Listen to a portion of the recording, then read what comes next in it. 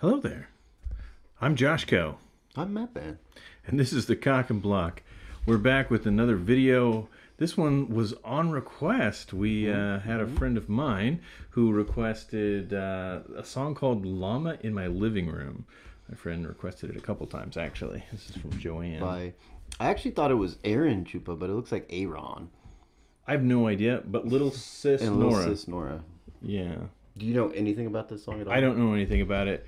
Um, just going off of a friend's recommendation, um, we're going to do it, even if it gets uh, copyright issues. Yeah, So- whatever. We're doing it. because we're doing it without the notion of possible profit, just for a friend Yeah. who wanted us to react and listen to it because she thought we would think it was neat.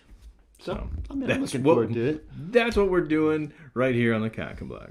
And if it's bad, we're never going to take your recommendations again. Never again. Never. Never.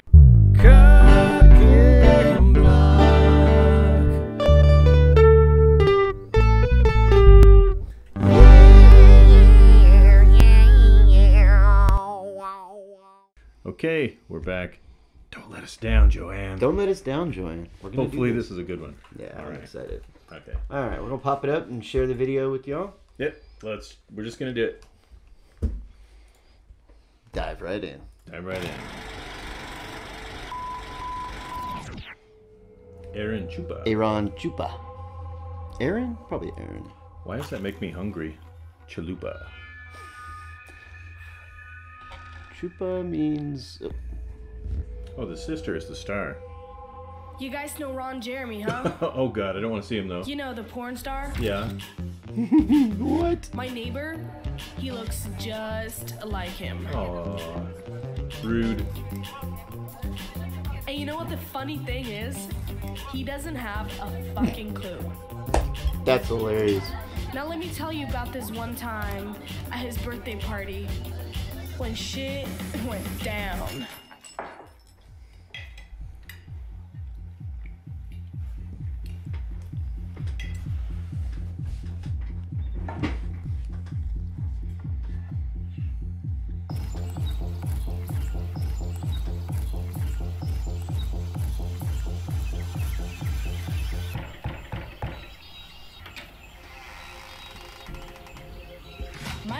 Knocking and I open carefully.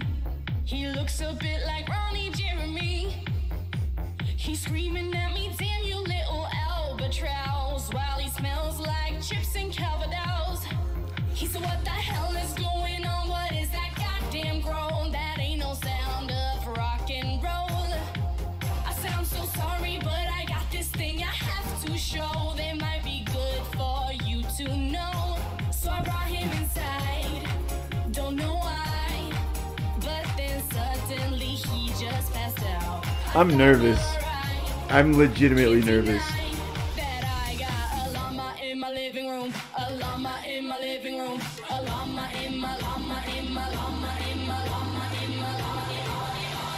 A llama in my living room.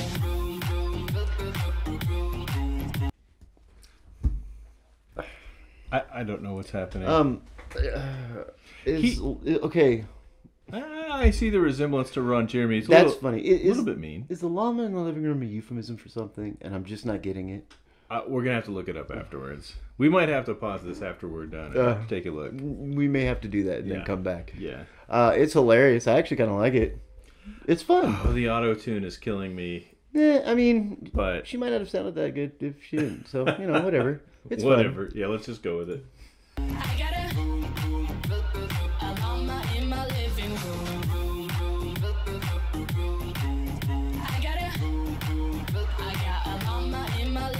An animal enthusiast. I respect it. I bet she follows the my little dodo. neighbor shaking on the floor. I've never seen a man like that before. He didn't even make it through my kitchen door.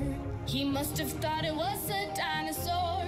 Then he opened up his eyes, screaming, I'ma kill that thing. Then his big arm started to swing.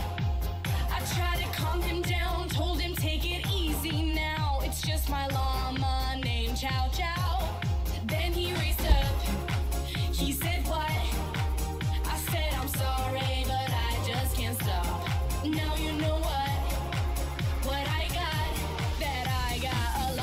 in my living room. A llama in my living room. A llama in my llama in my llama in my llama in my. I got a llama in my living room. I got a, Um, a llama in my living room.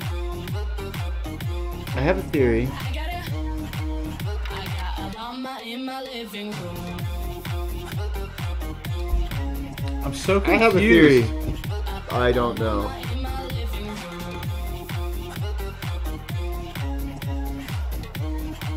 A llama in Hold my on. living room. Is there gonna be a? There's gonna be something. Okay, not. All right, all right. Let's pause for a second and let's go look. Well, but See if before we we can do figure out that, the euphemism of this. 'cause I have a I'm so theory. confused. I have a theory about what it is. Okay, Um, I definitely cannot say it. okay. And if I do say it and I'm wrong, mm, let's just Why don't we pause? You tell me, and then we'll we'll be right back. we'll be back. All right. Well, In conclusion, we have come to no conclusion. That was just a video that we watched. It happened. That was a thing. we don't know what it was about. So the the principle of movie making is when you see a gun and see in, in It- scene it one, has to be it has to it has to go by off the by end, yeah. scene three, right? Right. So we saw a lot of Ron Jeremy Uh-huh. kind of symbolism with a neighbor who looks like him, but that gun didn't go off. My theory is that the llama. Well, part my my theory was a little cruder actually, but in doing some research, I've dialed it back. Maybe, maybe, well, maybe the llama represents her sexuality, her whether it be the physical Right. aspect or Right. the Or her power. or her power as a woman, um, and it just scared scared the man. I don't know. I can't come up with anything. She was so powerful that she scared the man. I mean, that's probably the most likely interpretation. Other than the fact that it's just absurd and he passed out because it's very weird to have a llama in your living room. Right. Alternately, Um, yeah. girls got a llama in her living room. Yeah. Yeah. So no no need to overthink it. Um, Fun song though. I did like. I enjoyed it. It was fun. You liked it more than me, and that's okay. I liked it. Um, I, I I did like the fact that they were auto tuning a word and then using it as a beat. Yeah, that was fun. meh, Meh, meh, meh, meh, meh. That was fun. That was amusing. That was amusing. Um, It wasn't. It, I like. I like something like this when you know somebody's not trying to be take themselves too serious. Yeah. You know, they're just having fun. yeah, and they're from Sweden. I think that's what I, I saw that, Yeah. that she's from Sweden or he's from, He's from Sweden, and their names are the reverse of each other. So Nora spelled backwards is, Aaron or Aaron, Yeah. however it's pronounced. Yeah. So how cool. That's very neat. interesting. Yeah. All right. Well, tell us more about this song if you know more about this song. Mm-hmm. Let us and, know. uh, we'd like to read more in the comments below. And as always, don't forget To like. and subscribe. Thanks, guys. We appreciate it. See you next time.